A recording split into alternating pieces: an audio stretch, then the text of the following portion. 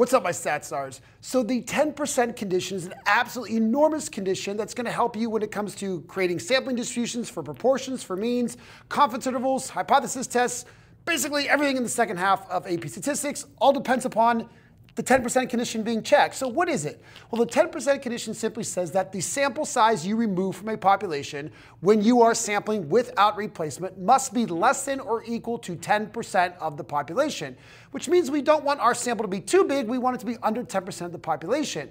This allows for us to assume independence. And we kind of need independence when we create sampling distributions, we do confidence intervals, and we run hypothesis tests, and we do a lot of calculating probability.